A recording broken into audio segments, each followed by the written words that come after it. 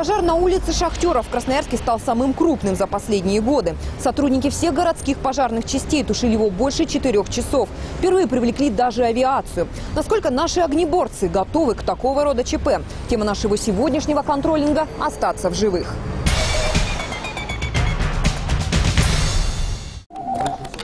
Пожарно-спасательная служба. За каждым таким звонком стоит чья-то жизнь, поэтому действия диспетчера отработаны до мелочей. Нужно успеть определить ранг пожара и отправить спецтехнику к месту происшествия. На все про все одна минута. Внимание по вызову. Следуем. Загорание жилого дома.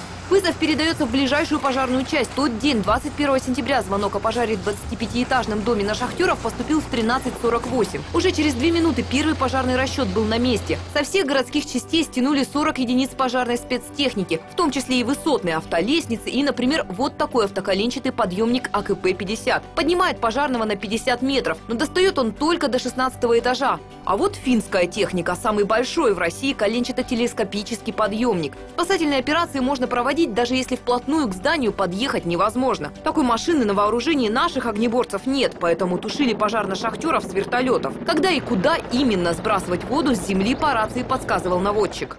Подняли вертолеты э, с ВСУ, водно-сбросным устройством. ВСУ-5 так называемое. Значит, 5 тонн воды э, вывозит. Значит, заправка осуществлялась на реке Енисей, и все мы прекрасно видели, наблюдали, как своевременно, метко и прицельно они сбрасывали именно на тот участок пожара, который приходилось отбивать от э, тех стен, которые еще не горели.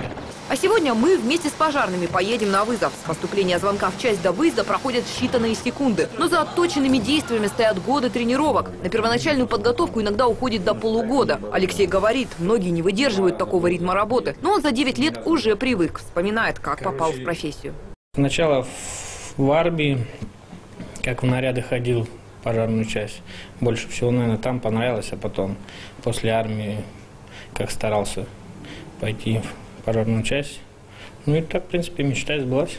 Впрочем, учатся пожарные всю жизнь. Чтобы постоянно быть в тонусе между выездами, занимаются каждый день по 4 часа. Теорией и практикой. Чтобы уже на пожаре ни у кого не возникло вопросов. И все действовали как одна команда. Имеется, скажем так, контрольное время выполнения каждого норматива. И уже от, от э, того, насколько квалифицированно работает пожарный, вот делается вывод, то есть какие элементы отработать еще более там, тщательно.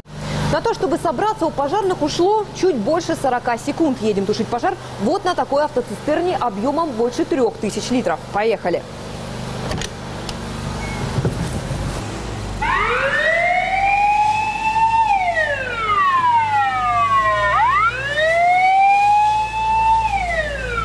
Чтобы добраться до пожара, у нас есть не больше 10 минут. Сейчас дорога относительно свободна, тяжелее приходится в час пик. А когда горел дом на шахтеров, пожарным мешали красноярцы, которые ради удачных кадров бросали машины прямо на дороге. И вот обычная картина – забитый машинами двор. Мы просто не можем подъехать к нужному дому. На большой машине не про...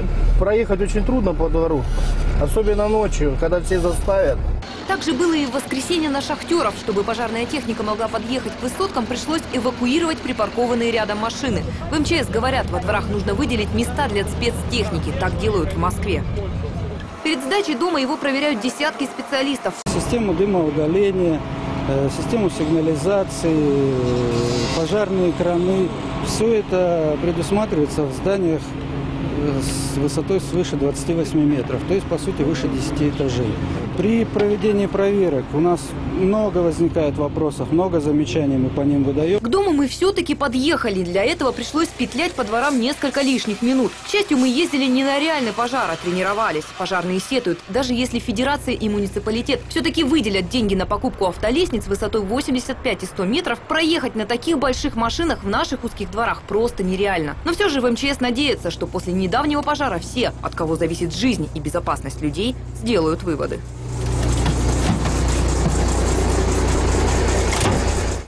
Уверены, что контролинг – наша общая задача. Выкладывайте свои фотографии и делитесь своими мыслями по этой теме или любой другой требующей контролинга на нашем сайте и во всех социальных сетях. Также рассказывайте свои истории по телефону 236 0136. Уже завтра мы подведем итоги вашей активности и, может быть, расскажем именно вашу историю. Ольга Тишенина, Денис Тимошенко. Новости.